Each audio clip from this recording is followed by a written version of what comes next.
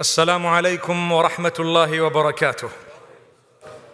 Bismillah ar-Rahman ar-Rahim. In the name of Allah wa ta'ala, most gracious, most merciful. Alhamdulillah, all praise is indeed due to Allah ta'ala. Wassalatu wassalamu ala rasulillahi wa ala alihi wa ashabihi ajma'in.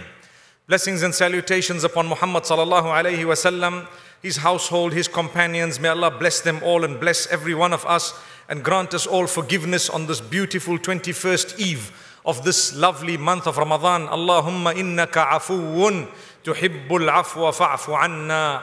Oh Allah, you are most forgiving, you love to forgive, so forgive us. My brothers and sisters, there is a dua that is made, a supplication by the angels. They continue making a dua for forgiveness for certain believers. Now, there are some people who may not be included in this dua. We need to know why do the angels make this dua? They know the anger of Allah. They know the wrath of Allah. They also know the mercy of Allah and the love of Allah subhanahu wa ta'ala. So they continue asking Allah to forgive certain categories of people. It's important for us to save ourselves from being rejected from this dua from being people who are not included in this dua by knowing what characteristics we need in order to be included. So the angels make a dua. What do they say?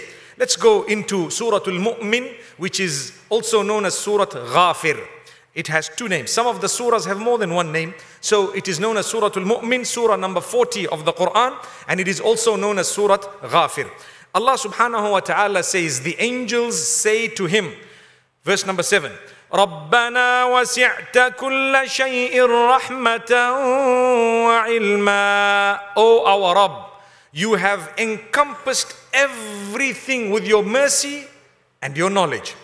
Your mercy encompasses everything. You are merciful.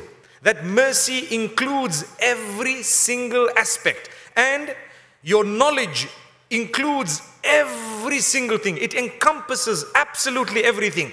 فاغفر للذين تابوا واتبعوا سبيلك So, oh Allah, forgive those who are seeking forgiveness. Forgive those who are repenting and who have followed your path. Brothers and sisters, you need two qualities. You want to be included in this dua. It is a long dua. I'm going to take a few moments to tell you the entire dua. This evening, we are going to be delighted to know that the angels pray for us constantly. But the angels are telling Allah, Oh, our Rabb, forgive those who are seeking forgiveness. Oh, our Rabb, forgive those who are seeking forgiveness. You are most merciful, you are most knowledgeable. Forgive those who are seeking forgiveness. Amazing. If I'm seeking forgiveness, there are angels telling Allah, Oh Allah, forgive him. He's asking for forgiveness. Don't we feel so hopeful? Subhanallah. Allah says it here. The angels are saying, Oh Allah, you have your mercy and knowledge has encompassed everything, so forgive those who are seeking forgiveness and who are following your path. وَاتَّبَعُوا سَبِيلَكَ They are following your path. They are trying their best to be the best of people. The question is, and I need to ask myself, am I trying my best? That's the question. Am I trying my best? If the answer is yes, Alhamdulillah, I'm included in the dua of the angels. But if I'm not, then I need to do better to save myself from being excluded. May Allah subhanahu wa ta'ala help us and may Allah grant us ease. Let's continue with the same dua. The angels don't just stop there. They say, وَقِهِمْ عَذَابَ الْجَحِيمِ Oh Allah, save them from the punishment of hellfire. Al-Jahim referring to hellfire. Oh Allah, save those who have repented and who are following your path from hellfire. So they are saying, forgive them and grant them savior from hellfire. Subhanallah. How fortunate are we? This is in Surah Mu'min. Surah Al-Mu'min, Allah subhanahu wa ta'ala makes mention of this. And it continues. Subhanallah. Verse number 8. ربنا وأدخلهم جنات عدن التي وعدتهم O our Rabb, grant them the paradise that you have promised them. The angels are constantly calling out to Allah, Oh Allah, people who have these two qualities, give them the Jannah and the paradise that you have promised them. What are the two qualities? They seek your forgiveness and they try their best to follow your path. They are following the path. So, oh Allah, forgive them have mercy on them, protect them from the fire, grant them the Jannah that you promised them. Now imagine you were going to Jannah In Jannah, what would happen? Subhanallah, may Allah take us all to Jannatul Firdaus. Many people would miss their family members, their children, perhaps their parents, their wives, etc. You might miss, you know, your family members. So the angels, they say, وَمَنْ صَلَحَ مِنْ آبَائِهِمْ وَأَزْوَاجِهِمْ وَذُرِّيَّاتِهِمْ Oh Allah, not just them, but give Jannatul Firdaus to all those who are good enough to get into Jannah from amongst their parents and their spouses and their progeny, their offspring. So it means you will be with your family members in Jannah on condition that they too have tried to follow the path. This is why the term waman salaha, it actually means those who are good enough to go. May Allah subhanahu wa ta'ala make us all good. If you want to be together with your family members in Jannah, you all need to work together for the same goal. Like we have a family business. And how proud is a father who says, I've got six sons, they all in my business. MashaAllah. Father, piece of advice, before you pass away, you better sort matters out, inshallah, if you want those children still to remain united after you've gone. That's just a side piece of advice because we've seen through our experience in almost all cases that family fragments later. But I promise you, in Jannah, there is no fragmentation. There is no politics in Jannah. Nobody is going to want what the other one has because he will have whatever he wants. Subhanallah Rabbil Alameen. It's amazing. So my brothers and sisters, Jannatul Firdaus is what we are aiming for. In this world, we will struggle. And Allah subhanahu wa ta'ala has told us that we will struggle. But I tell you, the dua of the angel continues, helping us through our struggles. Allah subhanahu wa ta'ala says in verse number 9, the angels, they are calling out to Allah on our behalf. What do they say? وَقِهِمُ السَّيِّئَاتِ Oh Allah, protect them from committing sin. Protect these people from committing sin. They are seeking forgiveness. They are following the path. Grant them all these things and help them, save them from sin. Imagine the angels are asking Allah to save the mu'mineen from sin, those who are seeking forgiveness. May Allah subhanahu wa ta'ala help us. My brothers and sisters, we need to feel this. So one might ask, how do I feel it? You feel it by trying your best. When you try, you can feel a closeness to Allah subhanahu wa ta'ala. But if you don't try, how do you expect to feel a closeness to Allah Rabbul Izzati wal Jalal? Let's move on, subhanallah. In this surah, it is named Al-Mu'min, meaning the believer. Because in the family of the Pharaoh, there was one person who secretly accepted the message of Musa alayhi salam and he became a Muslim. So Allah refers to him in this beautiful surah and the surah has a name after him. What was his job? What did he do? He used to go to the family members and say, hey, you better listen to this man. Stop abusing him. Stop insulting him. If he is lying, it's against him. And if he is telling the truth, then you know what? You may well just be punished. So there was a person from the family of the Pharaoh who was siding with Musa alayhi salam. From this we learn something very interesting. Always when there is truth and falsehood, Allah chooses whomsoever He wishes to uphold, uplift and support the truth. And those who are at a loss are the ones who support the opposition or the ones who support that which is false and incorrect. And you never know who can stand up to support the truth. May Allah subhanahu wa ta'ala use us to stand up for the truth. And we stand up for the truth in a beautiful way. Remember, my brothers and sisters, wherever there is a dispute, wherever there is right and wrong, we as human beings have been given the power and ability by Allah subhanahu wa ta'ala to think, to be able to resolve a matter rather than to deal with it in a way that creates bigger problems. Remember this, my brothers and my sisters. We are going to come to that perhaps later on this evening or tomorrow. But let's move on. This is Surah Al-Mu'min. Allah subhanahu wa ta'ala says in verse number 60 to Muhammad sallallahu alayhi wasallam. He says, وَقَالَ رَبُّكُمْ Your Rabb has said. Now we need to listen. What has our Rabb said? Who is our Rabb? Our Rabb is Allah. Our Rabb is Allah. So verse number 60, Allah says, Your Rabb has said, أُدْعُونِي أَسْتَجِبْ لَكُمْ Call out to me, I will respond to you. Call out to me, I will indeed respond to you. Now, my brothers and sisters, from this verse we learn we have to call out to Allah. Calling out to Allah is actually worshipping Allah and placing your worship exactly where it belongs. I call out to Allah. So Allah says, Call out to me. I hear, I will respond. But Allah replies in a better way than we think we want Him to reply. Sometimes we ask Allah for something. He knows it's not good for you. He knows, but we keep on. It's not wrong to continue to ask because we obviously don't know the future. But if Allah, as a result of your dua and constant dua, does not give you something, you need to be convinced that in the long term, it was better for me not to have it. Remember this. Many of us say, Oh Allah, you know the dua of istikhara? It says in it, if, the, if you know in your knowledge that this is good for me, then make it easy for me. And if you know in your knowledge that this is bad for me in every way, then keep it away from me. And after we make the dua, we come back and we say, I've been praying for this, but Allah hasn't been giving me, been giving me. Hang on. Do you know what you said? You said, Oh Allah, if it's not good for me, keep it away from me. So if Allah is keeping it away from you, you need to be convinced that it was not good for you. That's why He kept it away from you. But the problem with us, we say that to Allah and still we want it our own way. And we still get upset. May Allah subhanahu wa ta'ala grant us all goodness. And may the goodness in the eyes of Allah be similar goodness that we would like in our lives. Wherever Allah has not given us something, may He convince us that indeed it was perhaps not the right time or not the right thing for us. And may Allah subhanahu wa ta'ala keep us content. We move on to the next surah. It's called Hamim as-Sajda, or it's also known as Surat Fussilat. Now, what has happened in this particular beautiful surah? Like I say, we're talking about uh, saving ourselves. At the time of Rasulullah sallallahu alaihi wasallam, the most eloquent of Quraysh, they knew that this Quran was something beyond man. They knew it. But they were too arrogant to admit it. So they heard the message of the Quran, they did not want to accept it.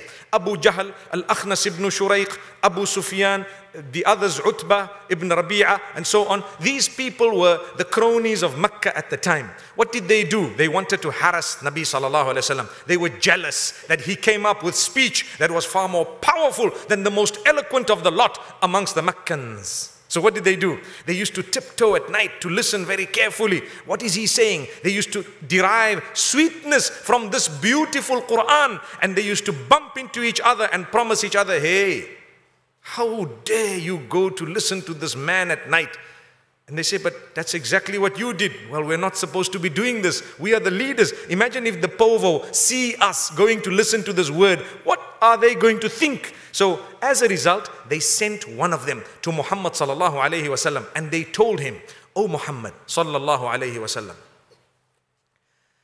stop saying what you are saying. What do you want? Now remember something, a religious person is not after materialistic items. He's not after power, he's not after wealth, he's not after position. He's supposed to be after delivering the message. Whether the people like it or don't like it, for as long as it was delivered in a beautiful way, as per the instruction of Allah subhanahu wa ta'ala, the job is done. Allah says, In alayka illa al-balagh. Your duty is only to convey the message. You don't have to get something from the people. Sometimes what happens when the wealthy have a problem, some of those who are connected to knowledge happen to side with them because they feel that maybe if we don't side with the wealthy, maybe the door might close. I promise you, a true scholar of Islam is he who does not mind losing a relationship with a wealthy man based on justice. It's okay. Allah will open another 20 doors when one has closed. Trust me, Justice is justice, and the best of justice is when it is served to the weakest of the lot in a way that they are made honorable in the eyes of those who have power and wealth, and they begin to know that justice has absolutely no lines. This is what Islam is. So, my brothers and sisters, the same applies. Muhammad sallallahu he did not mind losing those who were powerful and wealthy in Mecca. They threatened him. He didn't mind the threats because he had to obviously fulfill this beautiful message. They came to him, they told him, if you want power, we make you our leader. If you want to be the king, we make you our king. If you want wealth, we make you the wealthiest of the lot. If you are after women, we marry you with whoever you want, you choose, and they will all be yours. What would you like? We just want you to stop calling out against our idols and telling people to worship one God. What is all this? Muhammad was silent. He just heard he just heard this entire lecture from one of these leaders of Quraysh. And thereafter, he told him, Are you done? Are you done? Have you said your piece? Yes, he said his piece. Okay. I want to tell you, if you were to put the sun in my right hand, which means give me everything, and the moon in my left, and you were to ask me to stop calling out towards one God, I would never do that. And he began to recite the opening verses of Surah Fussilat. حميم. تنزيل من الرحمن الرحيم. كتاب فصلت آياته قرآنا عربيا لقوم يعلمون بشيرا ونذيرا. فأعرض أكثرهم فهم لا يسمعون. And he continued he continued. These verses I want you to go back home tonight to open Surah Fussilat which is uh, Surah Surah number 41 of the Quran and read. The Prophet ﷺ continued reading. This man was in awe. He was just listening. And read the verses. Until he got to a certain verse, verse number 13. So he read 12 whole verses.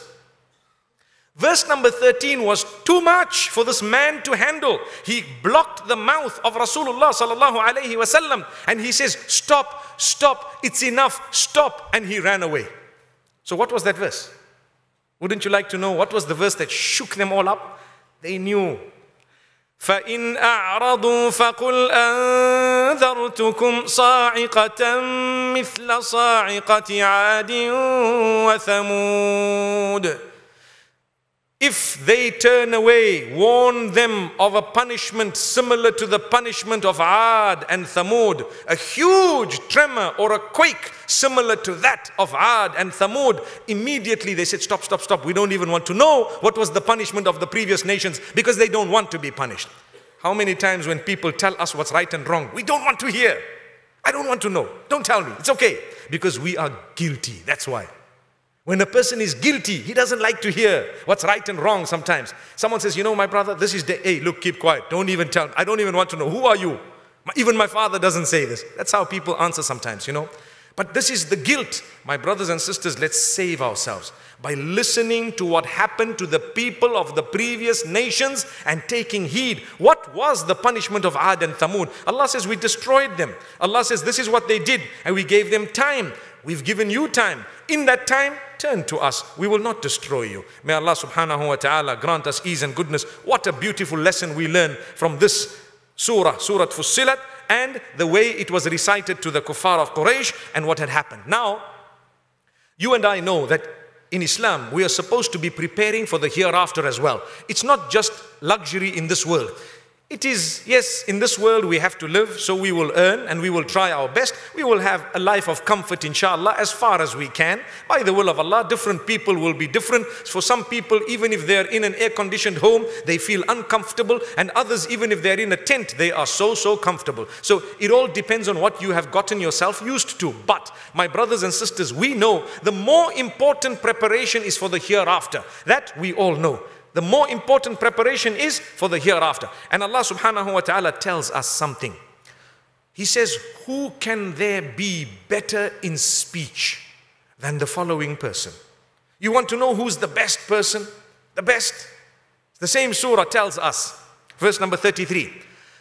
وَمَنْ أَحْسَنُ قَوْلًا مِّمَّن دَعَا إلى الله وعمل صالحا وقال إنني من المسلمين Who can there be better in speech than the one who has three qualities in him? The one who calls out to Allah the one who invites everyone to Allah. He keeps on using his mouth to Allah subhanahu wa ta'ala. He's calling out to Allah, da'a ilallah. And he does good deeds himself. He tries. We spoke about trying, didn't we? He tries his best himself. And he says, I am from among the Muslimin.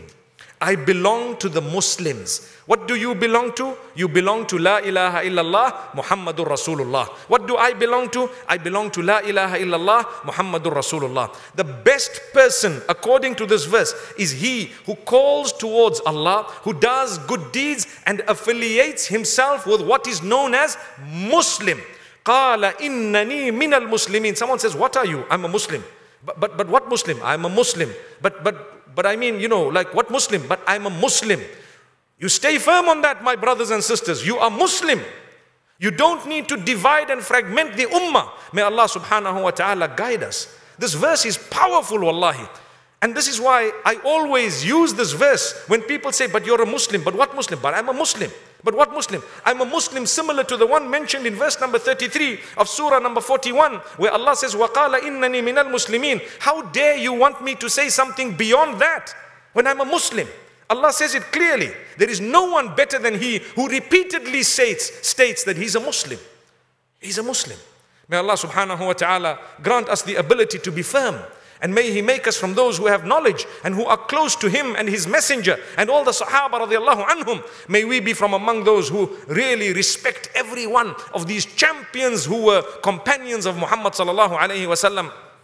Starting with Abu Bakr as-Siddiq radiallahu anhu, Umar ibn al-Khattabi radiallahu anhu. These were the superheroes of Islam. They were the champions. They struggled, they strove over the years to bring the deen to us. We can only love them. We'll never become jealous of them. We will never become jealous of those who were chosen by Allah and His Rasul sallallahu alayhi wasallam. May Allah subhanahu wa ta'ala help us even amongst ourselves. We should never be jealous of one another. One person Allah may use, one person Allah may not use, and so on. May Allah subhanahu wa ta'ala continue to grant us goodness for as long as we're alive, and may He grant us Jannatul Firdaus. Brothers and sisters, I move on to the next surah. We read it this evening in Salat al-Taraweeh, Surah Shura. The Shura meaning the consultation. The names of these surahs are very interesting because they highlight a very important aspect of the surah. In your life, in my life, many important things that I may undertake, I may plan, it's important to consult those who are qualified and who care. Two qualities. You need sincerity and qualification. You want to do something, ask those who care for you, and at the same time, they are qualified regarding the topic you are asking about. You want to get married, Ask those who love you. Ask those who care for you. And those who are experienced. They will, uh, they will give you guidance and guidelines because it's a big topic. You want to start up a big business, you ask those who are genuine. Don't ask someone who's an expert but he doesn't like you. He will intentionally give you bad advice. Subhanallah. May Allah subhanahu wa ta'ala help us. In this beautiful surah, Allah tells us so many things. One of them is that if someone is to work for the hereafter, we will give them we will give them the due that they have worked for. And if someone works for this worldly life only, we will give them the worldly life. And in the akhirah, they have nothing. So we have three choices. One is you work for the dunya alone and you have nothing in the akhirah. Two is you work for the akhirah alone, alone, you will get the akhirah, you may not achieve much of the dunya. But the third is you work for the akhirah in proportion and the dunya while you are preparing for the akhirah so that you can enjoy what is called the dunya, the hasana in the dunya and the hasana in the akhirah. The goodness in the dunya and the goodness in the akhirah. So Allah subhanahu wa ta'ala speaks about this. And then He says to us, if He wanted, He could have made everybody wealthy. So people ask, well, why didn't He? You know, Allah is the owner, isn't it? Allah owns everything. Why didn't He make everyone wealthy? Why are some people poor, some people wealthy, some people super rich, and some people, they are in debt since they were born? May Allah forgive us. May Allah help those who are in debt to pay their debts. Amen. So Allah explains why. Allah says, if we made everyone wealthy, there would have been lots of transgression on earth, fighting and killing on earth because everyone would be so rich, then what's remaining? Competition. When you compete with each other, you start writing off people. You start ticking off people. This one, I'm going to eradicate him. You know, it becomes mafia business because now everyone is very, very wealthy. So Allah says, وَلَوْ بَسَطَ اللَّهُ الرِّزْقَ لِعِبَادِهِ لَبَغَوْا فِي الْأَرْضِ وَلَكِنْ يُنَزِّلُ بِقَدَرٍ مَا يَشَاءُ If Allah wanted, or if Allah had given wealth all over to everyone, the people would have transgressed. So that is the reason why Allah subhanahu wa ta'ala has sent it down in due measure, in proportion. He's given very little to some and a little bit more to some so that each one is tested, some with more and some with less.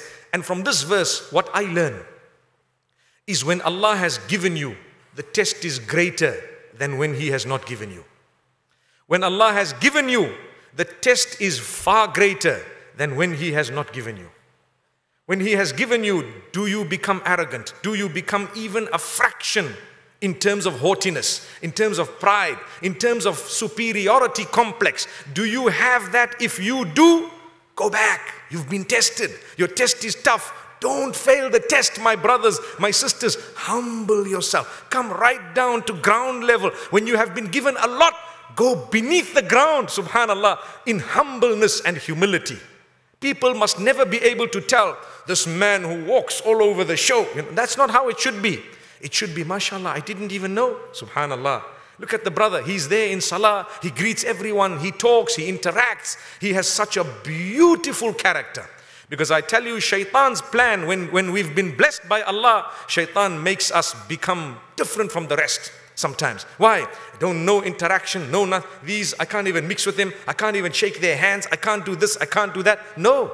These are your brothers and sisters. Allah says, if we want, we can swipe whatever we've given you in a flash. We can do it. Allah has done it. May Allah subhanahu wa ta'ala not do that to us. We've seen people from riches to rags in Split seconds, I promise you. Split seconds. May Allah subhanahu wa ta'ala protect us. So when Allah's given you, be humble. That's what I learned from this verse. Because Allah says, had we given, they would have become all transgressors. But we have held back so that they call out to us. They depend on us. May Allah subhanahu wa ta'ala help us and may Allah make us always from those who realize and understand. My brothers and sisters, we move even further. Did you know that if you remember Allah, you stand a better chance to be within good company. If you remember Allah often, and by remembrance of Allah, meaning you're conscious of Allah. Whatever I do, I think of Allah. So my salah, I go. By default, you're going to meet people who are in salah. Those who read salah often in the masjid, you know the clique who are in the masjid, don't you? You know these people are always there. In the first saf, oh, I'm going to meet this brother. This is going to happen. I know that brother's going to be there. Because why? You are all doing good things together. MashaAllah, tabarakallah. And this is why there is a greater chance that you will be in good company.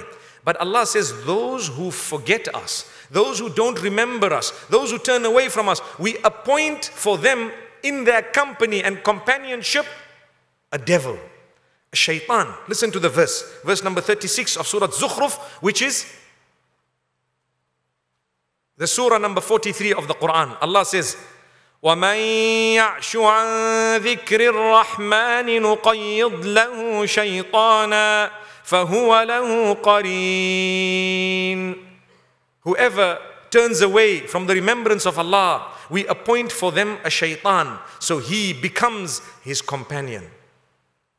You didn't remember Allah? Turn back to Allah. Remember Allah. Seek Allah's forgiveness, and the shaitan will depart. Good things will become easy for you to do and bad things will become difficult for you to do. Why? Because you're remembering Allah and you're in good company. But when you don't remember Allah, the bad things are so easy. They can be done. And the good things you feel so lazy to do them. May Allah subhanahu wa ta'ala protect us. I actually want to go back into the previous uh, surah. The surah that I was speaking about was Surah to Shura, surah number 42 of the Quran. I spoke about the verse where Allah speaks about giving and why he did not give. Thereafter, there is a very, very important point that Allah raises. Some people get married, some don't have children, some have children, some male, some female. Allah says, You must be convinced that Allah has given you what is the best for you. Keep on calling out to Allah. Keep on trying to get what you want. But if you're a believer, you must be absolutely convinced that Allah is Alimun Qadir. Allah is all knowledgeable, all able. What He gave you is the best, best, best for you. So if you don't have children, there was nothing better than that for you. That is your paradise. Because ultimately, when you die and the sabr is calculated, it will be so much that for you maybe paradise without even reckoning. And that was because you bore the patience because you didn't have children. And if Allah gave you only girls, be the happiest person on earth. If Allah gave you only boys, be super excited and thankful to Allah. And if Allah gave you a mixture of both, be super thankful to Allah subhanahu wa ta'ala. No matter what Allah has given you, be thankful. Allah says, verse number 70 of this beautiful verse, لِلَّهِ مُلْكُ السَّمَاوَاتِ وَالْأَرْضِ Indeed, Allah owns whatever is in the heavens and the earth. يَخْلُقُ مَا يَشَاءُ He creates whatever He wills. يَهَبُ لِمَن يَشَاءُ إِنَاثًا He gives whomsoever He wills only females. وَيَهَبُ لِمَن يَشَاءُ الذُّكُورِ And He gives whomsoever He wills only males. أو يزوجهم ذكرانا وإناثا Or He might give some male and female. Subhanallah. أو يزوجهم ذكرانا وإناثا ويجعل من يشاء عقيما And whomsoever he wishes he may keep them without children for indeed إنه عليم قدير He is most knowledgeable He is most powerful The point is be happy with the decree of Allah and you will save yourself from depression and stress in this regard. May Allah subhanahu wa ta'ala make us happy with His decree at all times. May He help us to understand His plan. For indeed, His plan is far higher than anything we can plan. أقول قولي هذا وصلى الله وسلم وبارك على نبينا محمد سبحان الله بحمده سبحانك اللهم وبحمدك نشهد أن لا إله إلا أنت نستغفرك ونتوب إليك